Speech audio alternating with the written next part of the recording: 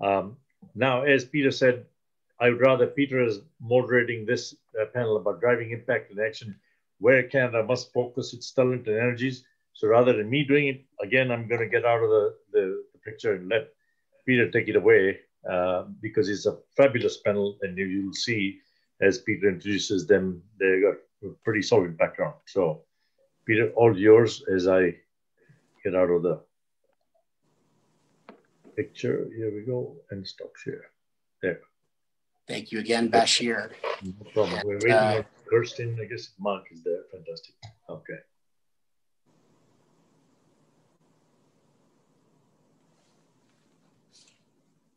Shall I wait a moment, uh, Bashir? Uh, yeah, she she did say she was logging. She was finishing up a call with uh, Davos. So, uh, or you can get started and she can pick it up right away because she would be momentary. She said she was running at eleven forty sharp, so which it is now. So hopefully she'll be there very shortly. I'll keep a lookout for her. Okay, excellent. Well, with that, uh, we're on to the next session.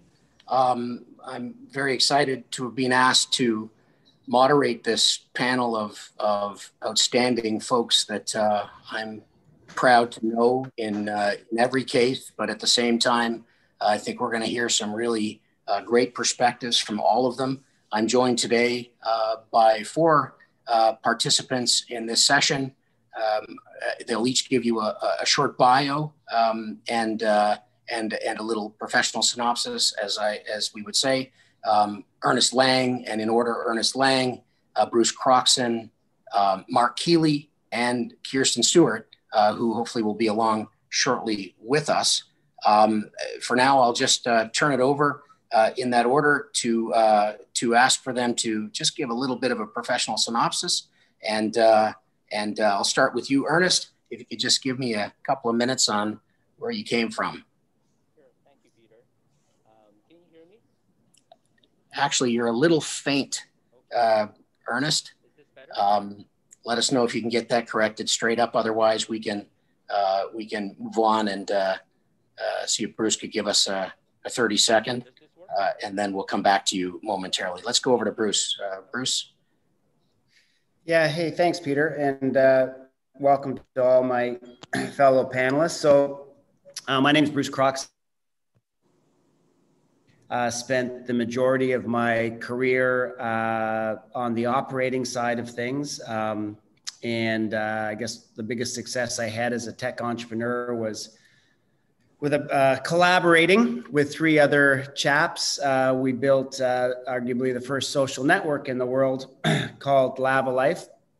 And subsequent to the sale of that company, I, I hung around for a very long two and a half years under the new owners uh, and uh, and acted as CEO for them. Uh, the first time in my career that I've uh, since I was uh, going through university that I actually worked for somebody and had a boss and reported in. Uh, but it was that was fine. And then the last seven or eight years, I've I've I've switched from being an angel investor and focusing on early stage tech to forming Round 13 Capital, which uh, focuses on growth stage technology companies, uh, 99% of which are domiciled here in Canada.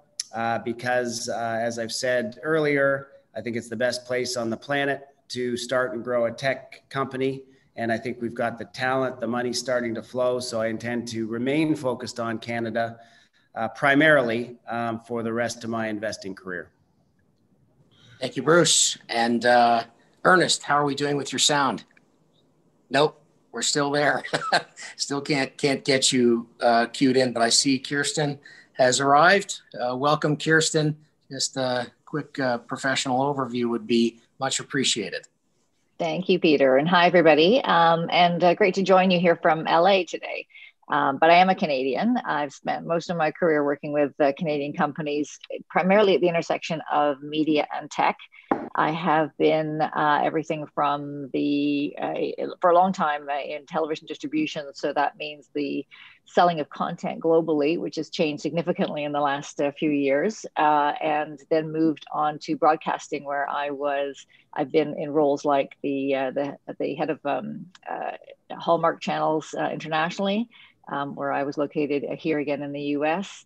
uh, to running the Alliance Atlantis lifestyle channels like HGTV and Food Network back in Toronto, uh, to heading up the a, a, little something called the CBC, uh, which I think you're all familiar with, uh, both the television, radio, and digital uh, entities of, of the CBC. And I worked with folks, uh, talented folks like Bruce here, Uh, who, who was on Dragon's Den, one of the shows that we launched when I was there uh, at, at the One CBC. of my favorite bosses, one of my favorite all-time bosses right there. I, I, like to say that I was one of the few people who can claim to be maybe a, slight, uh, have a slight boss role with, with, these with these great dragons. But Bruce was obviously a fantastic part of that uh, that world. Uh, and uh, then moved on to start um, the first office for Twitter in Canada. Uh, started it off with uh, a cell phone, a rented Regus office, and five people, and grew it quite significantly to being the, the fourth biggest revenue generator for Twitter globally.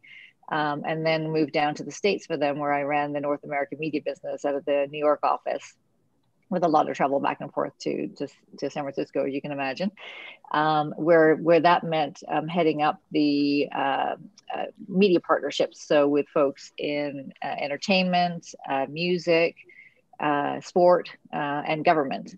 so even, and, and, news. So those folks that you're hearing now, and the, the discussions going back and forth about who has access to Twitter, that was part of uh, the world that I was working in. Um, and then I came back to Canada to work with a couple of startups. Uh, I wanted to get more into the digital space. So it was a very interesting time working with uh, both TribalScale and Diply for a while.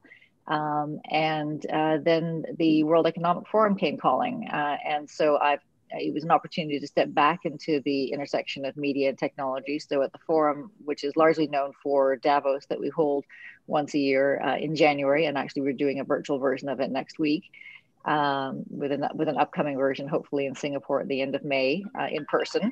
Um, we um, uh, I am heading up the media uh, division there. So that uh, re- requires or is the opportunity to work with uh, members uh, for the of the forum uh, who are in the media and technology business. So everyone from Facebook, Google, ByteDance, um, they're all global companies. There's about 40 odd of them. And uh, we looked at the future of media and what that looks like. Um, and uh, so I'm looking forward to the conversation today and talking about Canada's role in that future. Me too. Ernest, are we there? Oh, darn. so that still can't get you. So over to Mr. Mark Keeley. Thanks for joining us today, Mark. love to hear a little bit about your background. Everyone would love to hear. Oh, Mark, you're on mute. I can see that on the screen. There we go. Can you hear me? There you go. Sorry. Thank you. Thank you. That's Thank the line you. of the year. You know, isn't that, yeah, I just hate that. I'd be so stupid not to unmute. But thanks to Bashir for inviting me, and uh, it's good to see you and Bruce, uh, Peter. Just uh, quickly, uh, my name is Mark Keeley, and I'm very, very delighted to be here and welcome everybody for attending. Uh, our firm, K&A Inc., is a, national firm, but we're also, we have global context in what we're doing. We're experts here in, in governance, uh, and government and public policy. And we've done an awful lot of work, not only here in Canada, uh, but uh, globally, Asia, South America, and Europe, as well as Latin America. But I think, apropos to this conversation today, uh, Peter, we believe firmly here in a unique selling proposition, sure. that is Canada. Uh, we've honed uh, sure. really good skills in this country, like Bruce alluded to, uh, to suggest that we're um, sure. a very, very enviable spot uh, internationally to be doing what we're doing. And I'm anxious to have this conversation. I, uh, I'm, I'm lucky that I, I, learned my politics at the feet of probably one of the most iconic politicians in Canada, John Turner. Um, everybody uh, who, whom, uh, who, whom I know across Canada would agree with me. And I think it's really important too, based on the unique selling proposition. My second mentor was uh, Abdul Kalam, former president of India. So I'd like to uh, talk about how Canada and India have a have a wonderful opportunity to coexist and to collaborate on issues that we'd probably talk about today. So thanks for having me. Thank you, Mark. And uh, Ernest, do we have you now? Can you, can you hear me? Yes. Fantastic. Oh, great. My goodness. well, um, probably won't surprise anybody who watched this, but I am not in technology and I'm definitely not an audio engineer. Um, but um, professionally, basically what I've done uh, a, a, number of years ago, I formed a uh, a, a, essentially an entrepreneurial co-op of finance and uh, investment professionals uh, at, called Promerita Group, where we connect people, capital, and opportunity. We have three basic lines of business. We invest debt and equity in operating businesses and a wide range of real estate assets uh, with a focus in non-luxury housing. And we also provide advisory services to financial to the financial services sector, private business families, and financing advice to the real estate industry and operating companies. But I think more relevantly, uh, in terms of my participation in this uh, summit, is not so much my business background, but my personal background. So I was born in Singapore and became a Canadian at age two. Uh, when my parents immigrated to Canada, uh, we moved to North Vancouver in 1976 when Pierre Trudeau was prime minister of the country. Um, fundamentally, we were attracted by the Canadian promise to be able to build our lives uh, in a future uh, in a country that promised peace, order, and good government. And our family was definitely at the lower end of the socioeconomic ladder coming to Canada because at the time, Singapore, even though my parents were doing well in Singapore, they were young, and Singapore was a relatively poor country, certainly very poor compared to Canada. So our first home was on a street in North Vancouver, which was the closest residential street to the community dump yard in North Van. My earliest memories going to the Vancouver flea market uh, uh, were my earliest business memories, quote unquote business memories, would be of going to the Vancouver flea market on the weekends and hoping that my parents would sell enough during the weekend from their 12 by 14 foot blue tarp so that my mother wouldn't be too stressed when she went grocery shopping. It was a time in my life that if I knew that my mom came home with a bag of grapes from the Sunrise Market in Chinatown, it was because they were close to being thrown out. Now, in those days, no one had yet coined the term household food insecurity, but that did not mean it didn't exist. So I would say a sense of financial insecurity was a big part of my life growing up. And this increased a lot when I was seven, when my father was diagnosed with leukemia. And he was a self employed realtor, so he didn't have any things like disability benefits. Uh, and my most vivid memories were from age seven onwards, was driving with my mom to the Shaughnessy Hospital, where my dad would get his chemotherapy treatments and where he would stay when he was bedridden by his cancer. Those, uh, those car rides ended when I was 10 because he died. He was 38 years old, and my mom was was left as a young as a young widow to care for me and my two younger siblings, who were eight and two at the time, along with her own mother, my grandmother, who now lives with us and is turning 94 next month. And because my mother was an only child, she had no other siblings to help care for her, uh, care for our family, and look after the struggling family business that had started off on the 12 by 14 foot blue tarp. So with that degree of ongoing chronic stress, it probably wouldn't surprise you that uh, 10 years after my dad died, my mother was diagnosed with uh, lymphoma um, when she was in her 40s. And although we had more years with her than we had with my dad, she also ended up dying uh, much too young. So that's why for me, the promise of Canada that we can live in a society and a nation of peace, order, and good government is very attractive.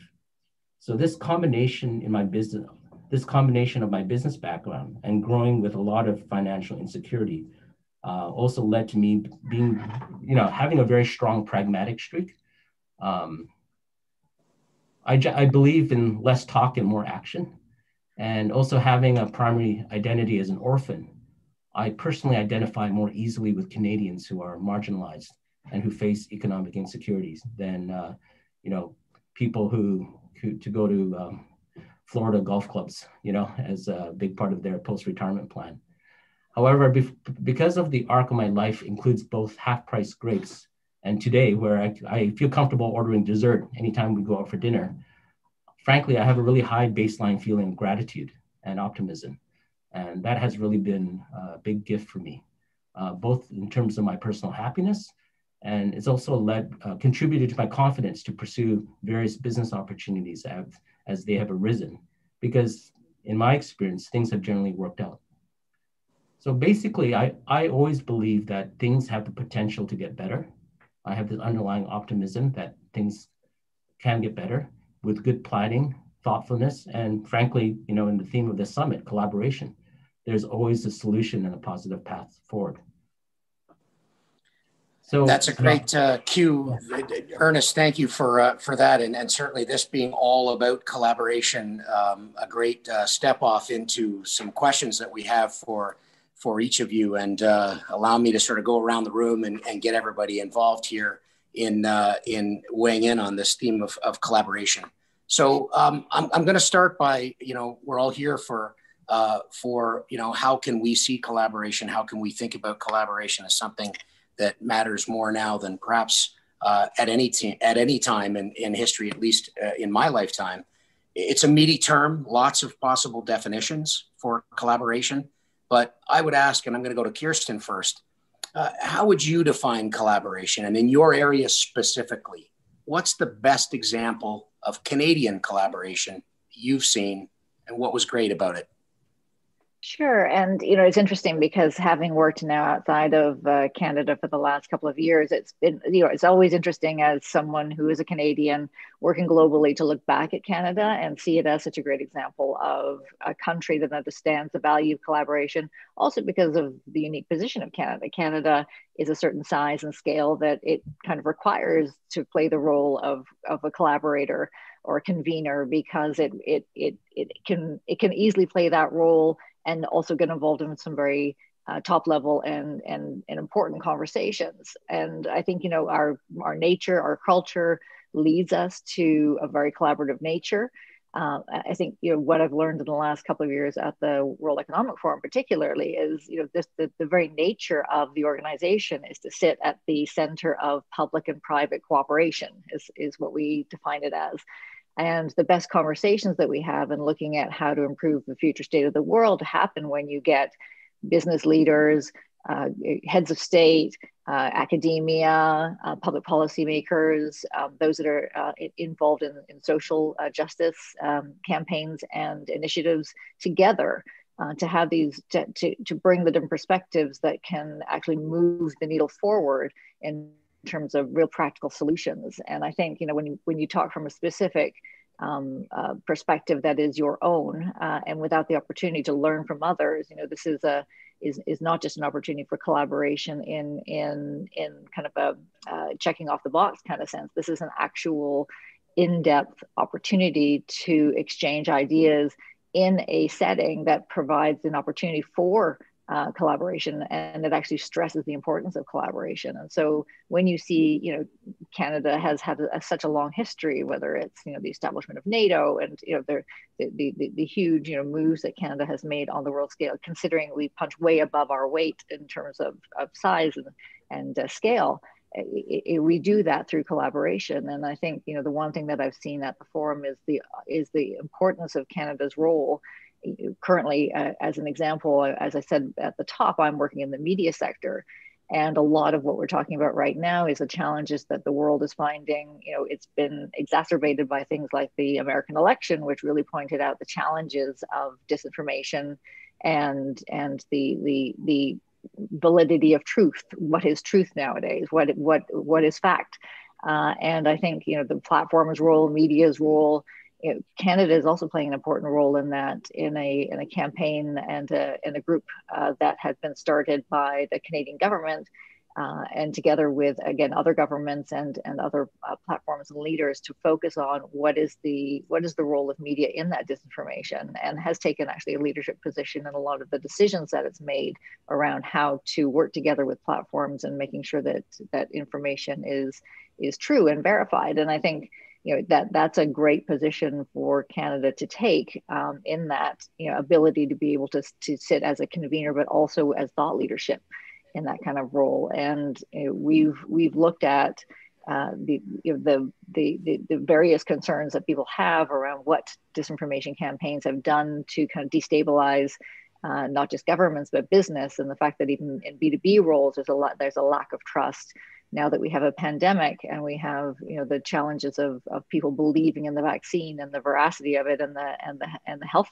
of it uh, it's you know these are all things that are a, huge uh, importance as we try to move through the pandemic and into a recovery position. So canada has been and will continue to play an important role there. My view as someone who's working globally is to look back at you know Canada's role, and I know I know how important it is, and I think it's it's it's in our nature, it's in our culture, and it's and it's in the way that we work, and it's a great way to leverage our size in a global mm-hmm. scale. Certainly, reason for hope, as we're all about Canada here today, and and the role we can play, and and connecting that to global agendas. Bruce, I'm going to go over to you for a minute with the with the same question what's the best example of collaboration you've seen and what was great about it? Give me a couple of minutes from your perspective. Yeah, sure. And just just quickly echoing uh, what Kirstine's saying, I'm glad she's on it because to me, it's the issue of our time. You know, the whole dissemination dissemination of truth and you know who's responsible for what goes out on what media platform. So you know, good to hear we have our best and brightest uh, trying to tackle the problem. So you know, I, I'll, I'm, I'm heavily biased when it comes to the topic of collaboration. I've never done anything as an entrepreneur on my own. Um, being an entrepreneur can be a very lonely endeavor. I decided early on that there was enough that I didn't know that I needed uh, bright, smart people around me uh, that brought things to the table that I didn't have. Uh, and I, I, I consider that a, a blessing um, that I was able to identify early what my weaknesses were and then augment them so I think it's almost like a, a critical aspect of defining collaboration uh, that you need to separate self-interest uh, and ego um, from the conversation uh, when you're collaborating and trying to arrive at a, a, mutually beneficial solution, or at least have them on the table that when you're giving a point of view, uh, you know that there's a self-interest behind it so that the rest of your partners or people trying to arrive at a decision can take the bias into account.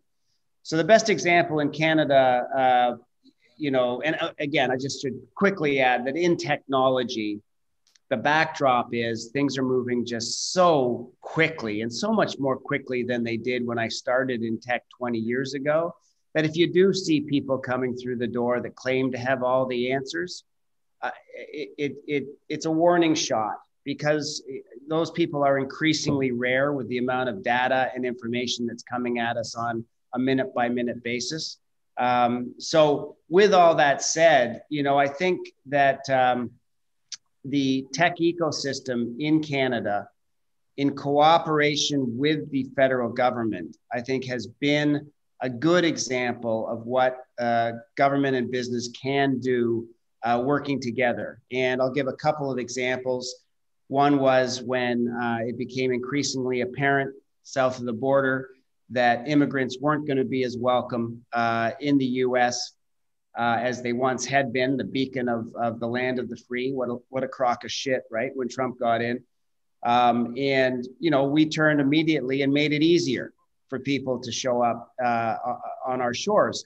And I can't tell you the number of first generation Canadians that walk into my office uh, with ambition and a plan and a hunger and a drive and the smarts uh, to make things happen. Um, so thankful for that uh, as, a, as an example. And I think also the funding of early and growth stage companies, I think has finally got to the point where we're doing the right thing uh, in getting capital into the hands of, of companies that are deserving. We need to do better at making sure companies that shouldn't get funded don't end up with a lot of of, of dollars because that sends the wrong message and builds the wrong type of ecosystem. But we'll work that out over time. I'm optimistic we'll get it.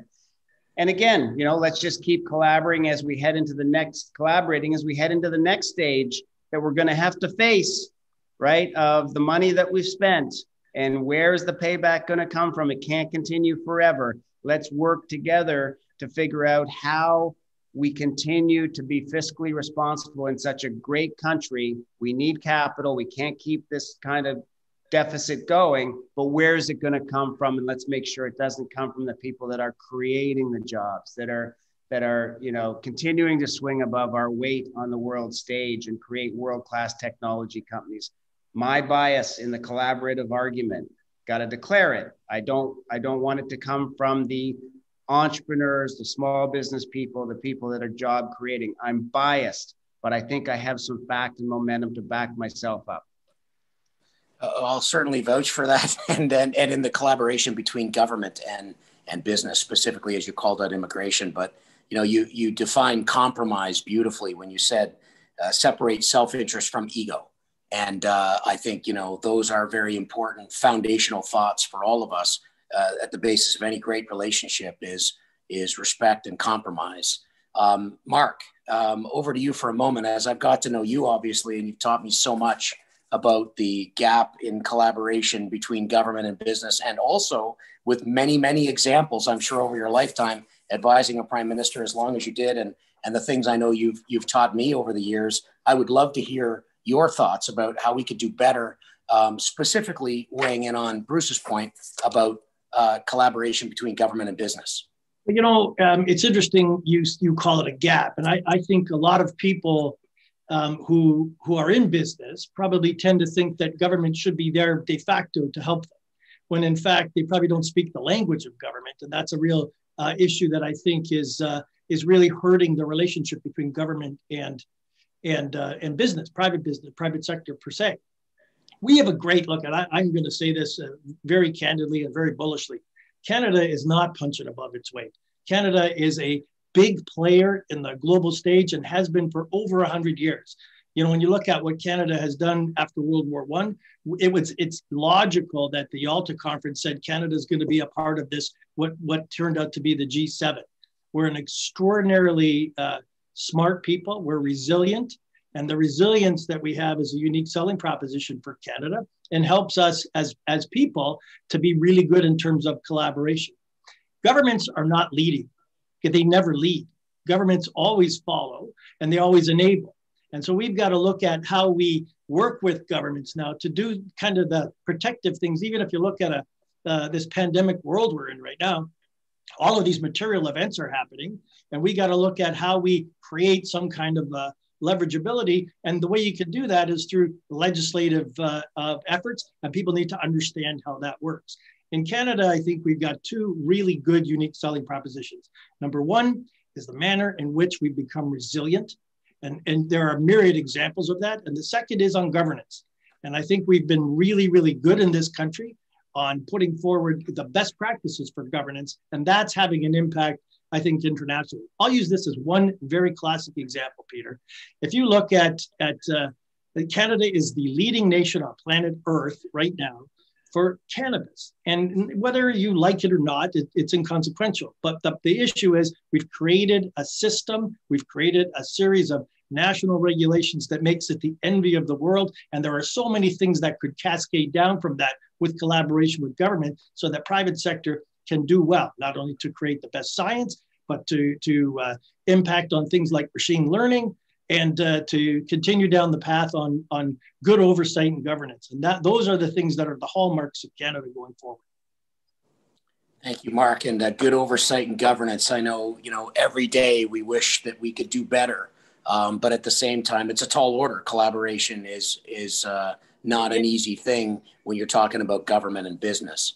Um, Can I just add one more thing, Peter? Sure. Absolutely. And, and I don't want to to to gear the conversation, but one of the other unique uh, issues that Canada has is the marriage of truth and reconciliation with the United Nations Declaration on the Rights of Indigenous People.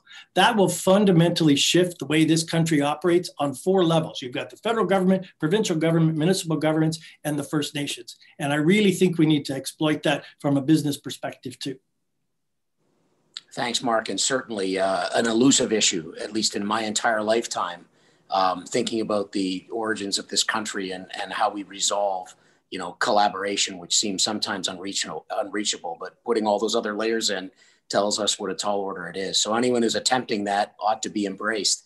Um, on, on the term of good governance and and Ernest, uh, you know, I remember having a conversation with you about some of your uh, achievements uh, in Western Canada uh, which uh, in some ways might have seemed against all odds in terms of a government that may not identify completely with uh, some of the views that that are attributed to business or free enterprise or or uh, you know uh, any of the right wing left wing arguments that that we that, that, persist here in this country. And yet you've been quite successful um, in engaging government um, specifically as an investor to address um, significant housing issues. Can you give me an example in just a couple of minutes here? Give me the headline on how that happened, if you can share it with us, um, and a little bit quickly on what it was that uh, that that came about uh, for you and your firm and your opportunity to collaborate with government. Sure. Uh, thanks, Peter. So I just to give people a bit of context, I'm sitting in my office here on Pender and Seymour. If I walk 12 minutes west, roughly on but 12 minutes walking, I will get to the building where last year, I think it was last year, there was a condo that was listed for sale for $58 million. Okay. And then if I walk 12 minutes east of my office, I will be at Main and Hastings, which is the heart of the poorest postal code in Canada. And so that's that that is the world in which I live. I I, I moved from from 12 minutes west to 12 minutes east. The, the one thing I have uh, seen that has emerged, I think, from this pandemic is a re- realization that the nature of leadership has to change. We good there's a difference between effective leadership and good leadership. And good leadership involves leading for something that's beyond your own narrow interests, whether it's partisan interest or personal interest or a, sort of a segment of society's interest. So one of the things that I've seen is um, through this pandemic, we we uh, took took over three properties uh, in the Strathcona area, which is the area that the downtown east side is located. So I can walk 15 minutes from my office and get to these properties. And essentially, what I've seen is the provincial government, which is an NDP government through BC Housing, and the city of Vancouver, which has uh, been bedeviled essentially by a housing crisis for, um, for many, many years. Sort of come together and start a conversation about uh, working together with my firm and also another uh, major development company, uh, Canadian development company that's headquartered in Vancouver. To the vision is to transfer a property to a not-for-profit to create a, a significant number of non-market uh, seniors housing and also to create hundreds of moderate market housing. Because one of the things that we've seen is some of the policies uh, that are very well intended that have been put in place to try to address the housing issue. What they've done is they've turned, you know, $8 million mansions into $6 million mansions, which for better or for worse, doesn't really impact the options available for 99% of Canadians.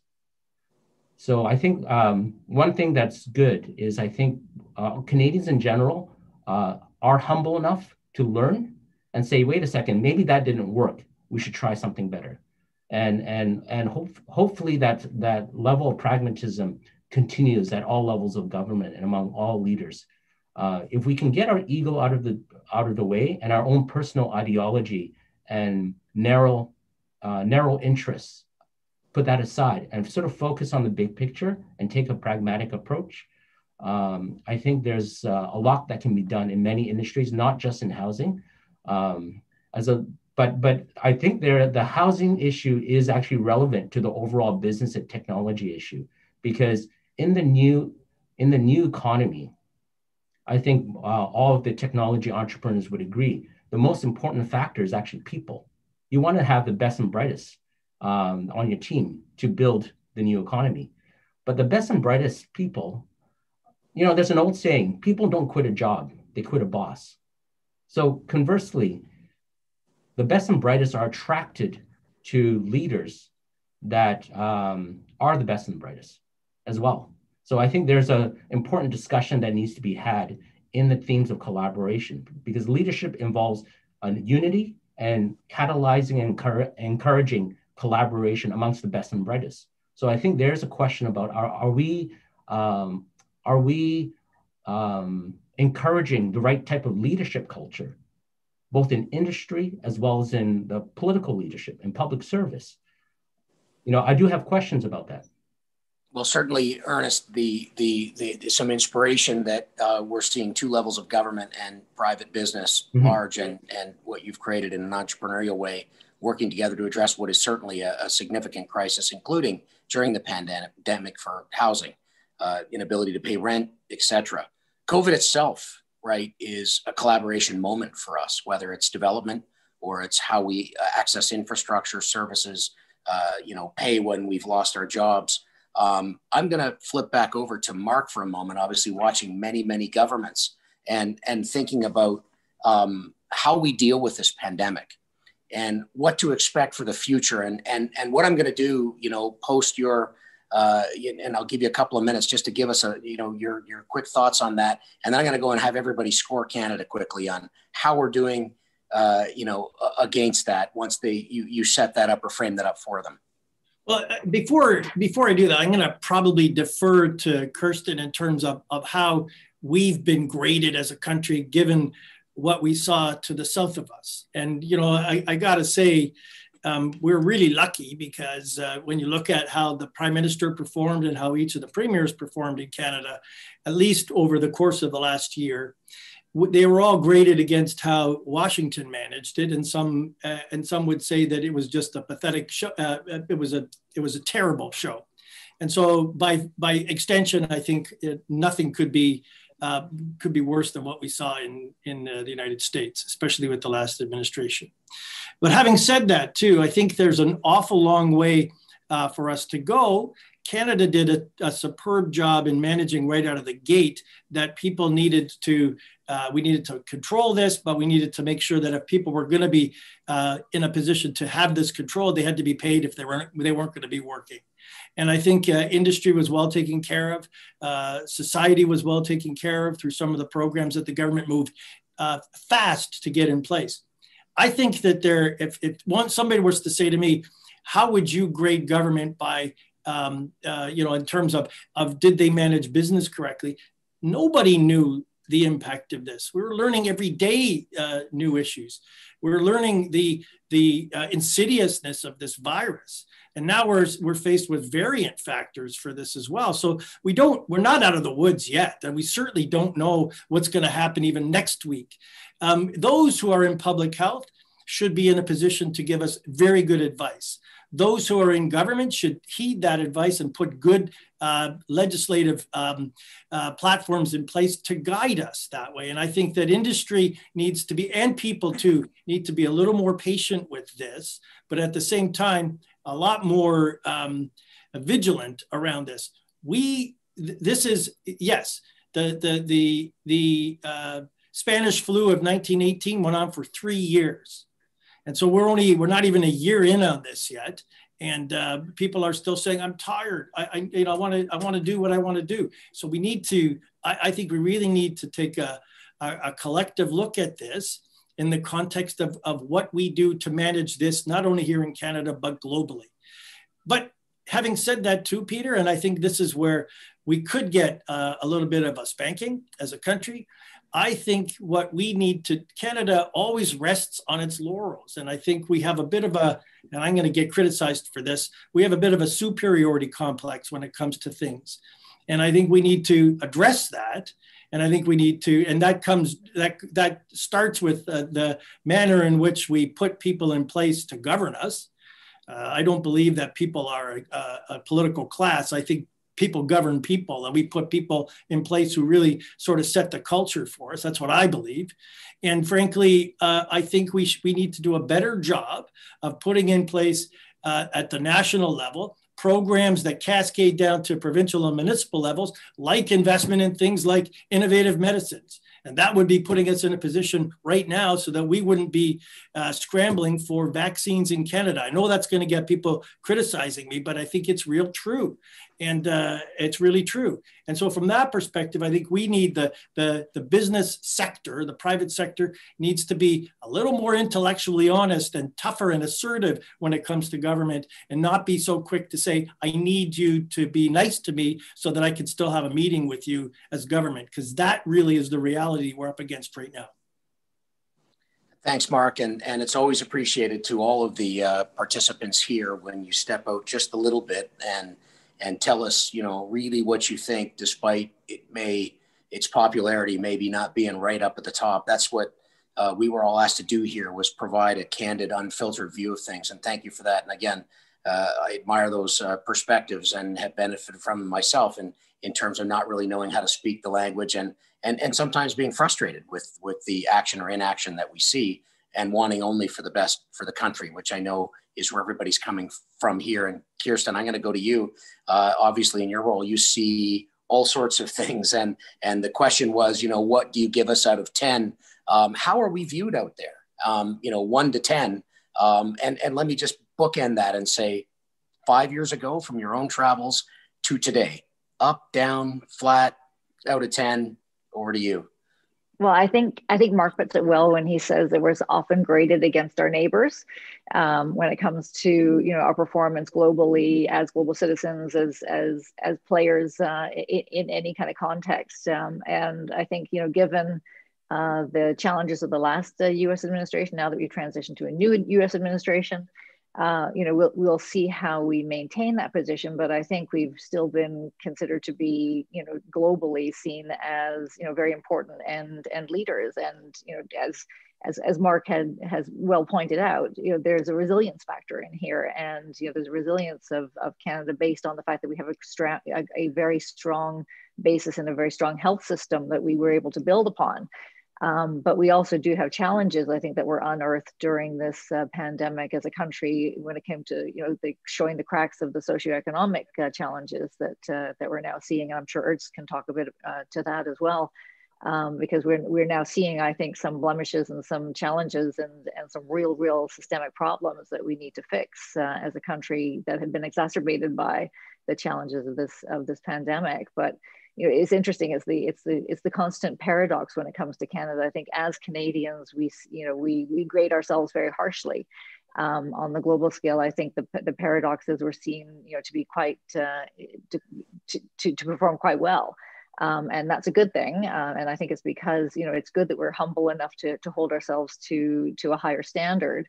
Uh, but even, you know, just I think it was yesterday, Merkel was saying that uh, in in in Germany, you know, she's getting complaints from from from her, you know, German colleagues that they're not doing as well as Canada is. So there is a perception that you know Canada, and it's an earned perception on many levels that Canada has done quite well through this pandemic and managed it again because we had a good basis of a good health system to start with, and uh, and as Mark points out, a good a good habit of of and a good tradition of listening to to health uh, experts and, and government clearing the way or at least preparing the, the, the fields for, for them to, to, uh, to, to, do, to do the good work that they need to do. But I think you know uh, Canada has been seen very much as a, as a leader uh, through this pandemic. You know, we, we have a we have a resilience.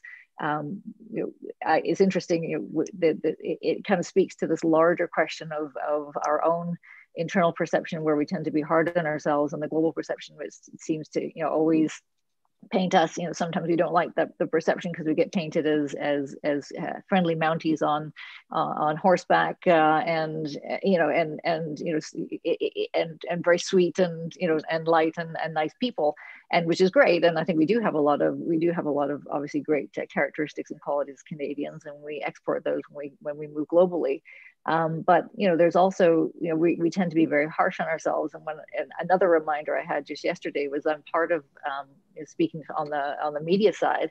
I'm part of a uh, steering committee on sustainability of uh, journalism, which is obviously you know there's a huge challenge right now as we talked about off the top with uh, the, the, the what what is truth today and and what is trust in in media and they pointed out Canada as the as one of the high marks. Uh, you know, the the and interestingly, it's the the the investment of the Canadian government in journalism, which just happened over the last year or so, um, that internally in Canada is seen as hugely problematic um, is actually seen as a, as a beacon and, and as a highlight uh, for those uh, external to, to Canada. So, you know, sometimes we, you know, our own perception of what we are doing internally because, you know, we, we understand the depths of the, of the challenge of being a Canadian. There's a quandary of being Canadian often. Um, it, globally, um, it's it, you know we get higher marks, and so you know I think as much as we're defined against the actions of of the U.S., um, those you know actions will obviously change with this new administration. uh, uh, hopefully we'll maintain that high mark moving forward. But globally, we're seen to be performing really, really quite well. Uh, and, and I think in that way, when I talk about punching above our weight, I think that's where we seem to be punching above our weight. Kirstine, and, and important perspective, obviously, with what um, you've seen firsthand, countries of the world coming together, business leaders, CEOs who are trying to address what are the issues of the day and how can we solve for that when there's very little collaboration, as we've seen during this pandemic from country to country and from level of government to level of government. Um, Bruce, I'm gonna I'm gonna turn it over to you, and and we've got uh, that little 15 minutes to go here. So, uh, been a lot of great conversation, a lot of good introspective thought, and uh, I'm gonna go over to you, Bruce, to to talk about how um, you think entrepreneurs and government can come together during this pandemic, and I'll guide you a little bit on this. Um, when you think about this vast country and distributing a vaccine, you know, I, I would personally say it's an unfair comparison to compare that, for example, to Israel with many few fewer logistics challenges and maybe even the levels of government and the complexity that we have here, which in part uh, were, were, were spawned based on different regional differences. We talked about Alberta earlier. We talked about Indigenous peoples. Can you think of a way that entrepreneurs and government can work together better now uh, in order to help us along in this pandemic? Maybe it's disinformation, maybe it's logistics, maybe it's somewhere in between. Over to you.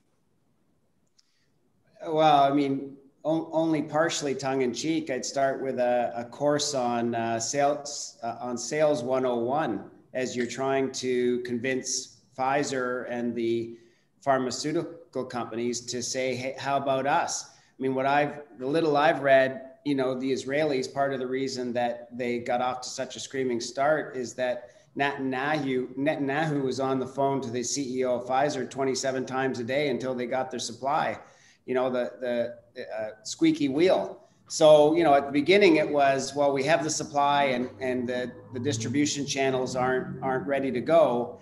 But now I'm, I'm understanding that that's not the case. So, I mean, keeping on top of all this stuff is, is, is, is not my full-time job, uh, Peter, but, uh, you know, the data, when we get the time to look back on it, you know, doesn't lie and it, and it does, it does tell a story. Um, uh, and I think one of the things that we could do a lot better. And don't get me wrong, I think everybody is incredibly well intentioned. We one of the the, the the the, things that you know, the easiest way to tell the difference between a Canadian and, Amer- and an American is when you start to talk about patriotism and the blind patriotism that comes with, you know, that's created a lot of the problems, I think, south of the border, which I, I don't think we suffered to uh, anywhere near the same degree, unless you're talking about our hockey team when it takes to the ice, you know, against other countries. But that, yeah, it's one little area. So the, to me, the data doesn't lie. I mean, it, it's impossible to grade us right now because the data is still coming in. But I will say that if we had the energy and time to do more subs, you know, uh, to create more subsections on how on who this virus is hurting, when and how, I think we would have done some things differently rather than take a blanket approach whether that be federally or more likely provincially, to say everybody shut down in these sectors. Uh, these sectors are okay. I mean, I think it could have been a lot more finely done.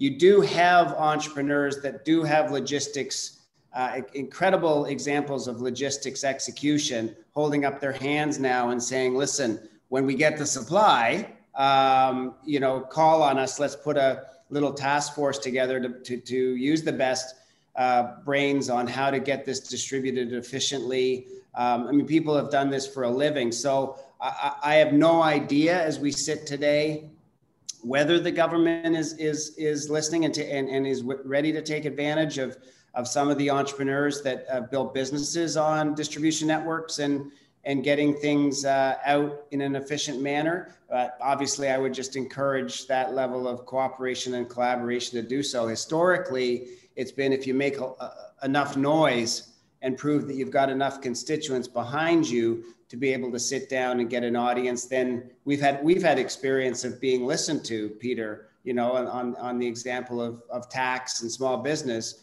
Uh, how you i mean this is a this is obviously a very serious issue lives are at stake getting back on track getting the machine rolling again is at stake my hope would be that that would be enough uh, for the governments to take the extra step of tapping into the, uh, the help that's being offered.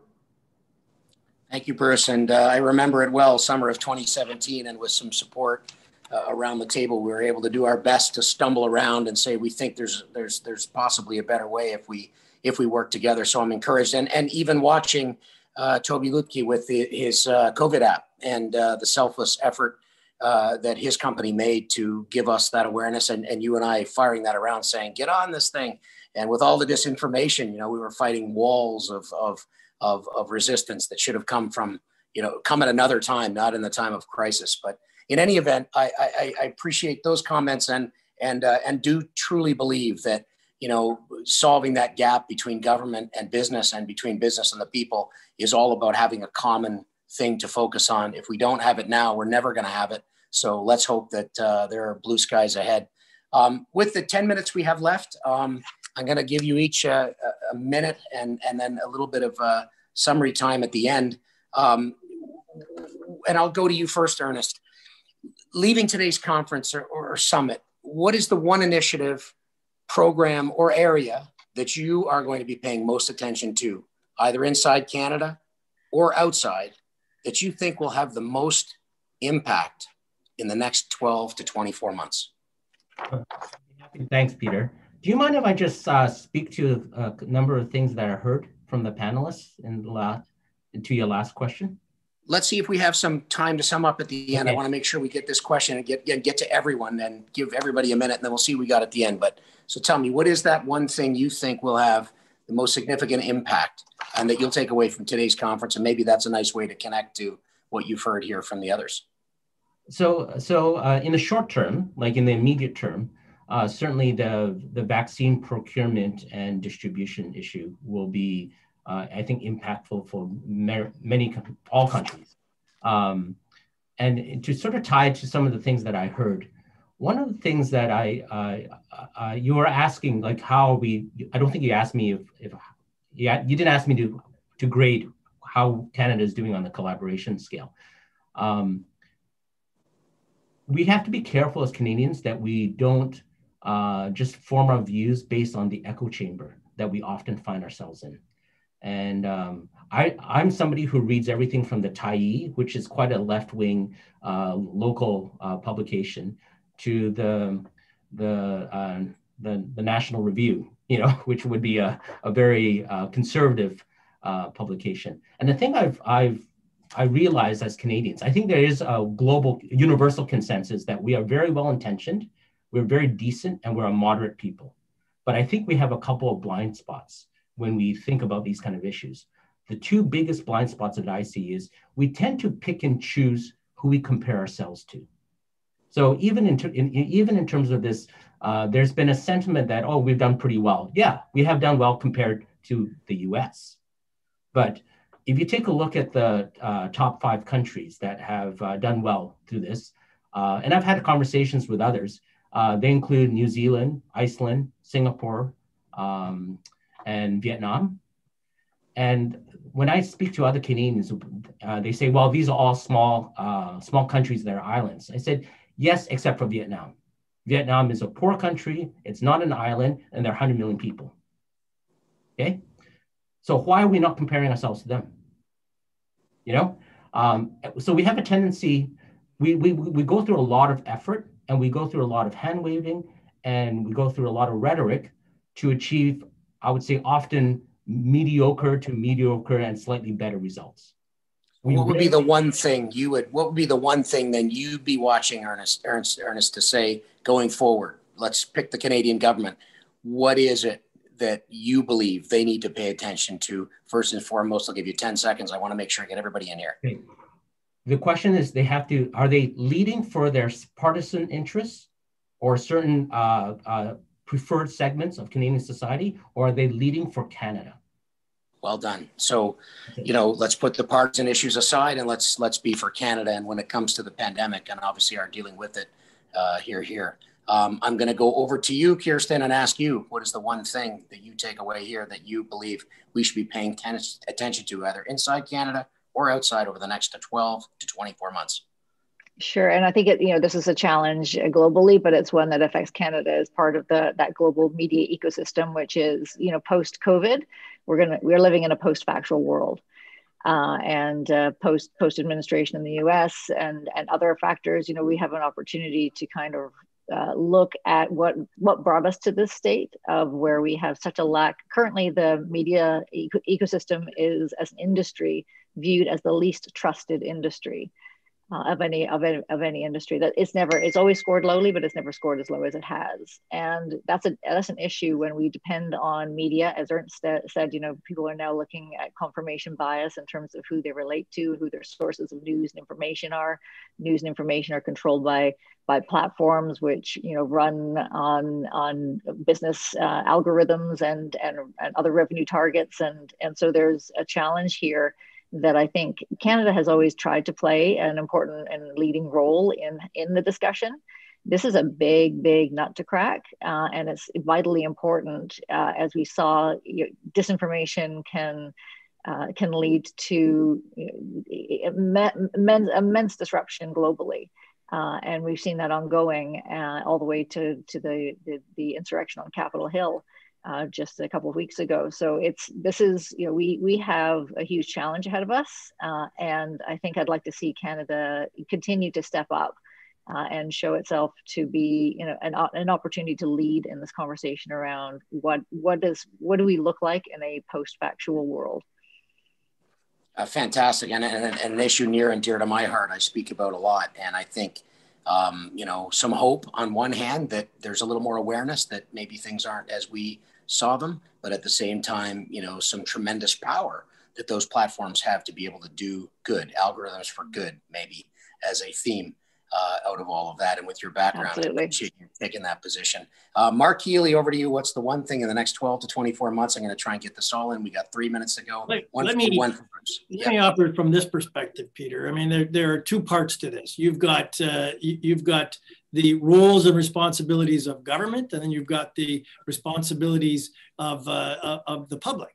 And I'll say this, uh, it is, it is unwise to think that government especially elected government, politicians will act in the interest of the country as a whole. That's unwise and un, it's immature and unrealistic. They are politicians, they cater to their base and they cater to their parties, and they will never change that, especially uh, when you look at how politicians act, and that's universal. We're now in a country right now where we're asking uh, politicians to think about that globally. And I, I, think we're getting, it's okay that way. You're still seeing some partisanship in the legislatures and in the House of Commons. And I think we have to address that and people need to see that for what it is. But at the end of the day, the government, the bureaucrats in this country are doing an extraordinary job at the national level, at the provincial levels, and they are, uh, they should be commended for what they're doing. At the same time, if you're looking at what should the, the greater public or, or citizens do, they should create awareness about issues. They think automatically that if because they've got some uh, great technology or some great product or service that everybody should know about it. If they don't, that's their fault. And I think we need to create more, uh, uh, uh more resonance from that perspective. And we've seen that done. And you and Bruce should take a lot of credit for what you did with WTF. I'll just say that.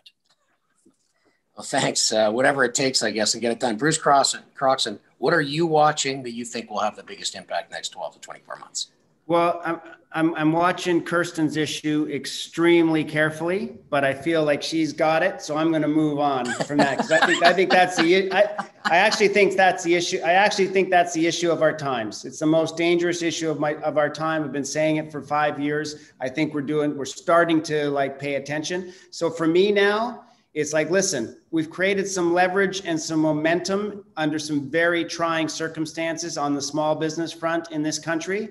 And it would be an absolute shame to get to have anything get in the way of that momentum. So I'm looking carefully at the policies as they are, are, are uh, pertaining to carbon, our place in climate change, where we are on that factor, the Keystone issue, and the taxation taxation issue. I, I, think we should be doing everything we can to support the momentum right now. This would not be the time uh, to start to inhibit uh, what has been an incredible groundswell uh, and, and accomplishment, maybe particularly in the tech sector, but there's not too many industries that aren't being affected by that sector right now. Again, speaking uh, selfishly, I think I think that holds the key to us moving forward uh, prosperly, prosper, pro- with prosperity and and and keep getting rid of this gap we have between the people that have a lot and the people that don't have enough because that's in nobody's interest.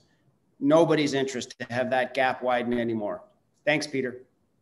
Thank you bruce. That was fantastic. And true to the theme of today's conference and uh, what bashir hoped would happen some collaboration played out right in front of you there between bruce and kirstine. That gives me a lot of confidence and i think all of us have tried to land on this issue of of, of, of collaboration for, for the good.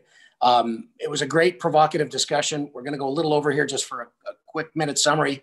Uh, and I appreciate uh, all of the panelists taking their time out today. Uh, these are all very busy people who have a lot to deal with each day, especially at times like this. And, and I'm certainly deeply appreciative of their commitment to come here today and share their thoughts with you. Uh, thank you to all of you, uh, Ernest, Bruce, uh, Kirstine, and, and to Mark, of course um, you know, speaking to government and, and, business, not not much more important to me these days than that. And the intersection of that in media, something to pay attention to. Um, I, I, talked in an earlier session about the gray space and how I defined that. You know, that, that this place out beyond the horizon where real opportunity and real possibility exists. Um, it, it takes patience, endurance, a lot of commitment to identify what the gray space is uh, to acknowledge that it is in fact an opportunity for those classic uh, half full folks that uh, start businesses and run them and equally for the, the, the mental health challenges that come along disproportionately to people who try to do things that seem impossible. But to commit to building toward that gray space uh, in, in Canada, we're, we're remarkably good at seeing and, and building toward that gray space beyond the horizon uh, and, and as a country in, in many ways of you know less than 40 million people with a, a, a vast um, country east to west and, and two languages and multiple cultures with um, issues that go back hundreds and even thousands of years that are still on the table that require more collaboration. But it's always been our secret sauce here in canada collaboration is and, and particularly in a world that feels so chaotic and troubled. It's the people who see the opportunity beyond the here and now and start building something incredible that inspires me. Uh, Canada is that kind of place. Uh, and it demands that the people on this panel today and the people watching band together, collaborate together, and see it through. Gray space opportunities, as we call them, like building the second largest country in the world as we did, requires endurance, passion, commitment, and most of all, and to today's theme, collaboration. Thank you all for participating today. Sorry to go a few minutes over there, Bashir, and I'll pass it back to you. Thank you to all the panelists. Have a great day.